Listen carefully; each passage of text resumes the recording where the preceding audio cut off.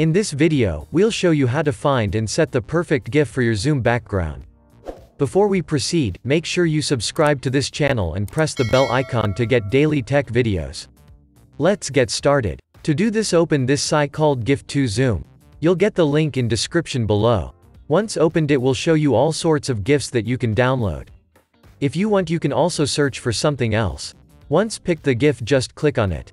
It will convert the GIF into video and download it for you. Now just open the Zoom app.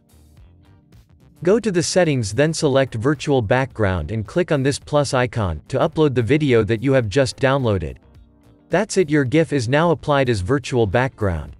If you like this video, give it a thumbs up and remember to subscribe I love free software TV, for more videos like this.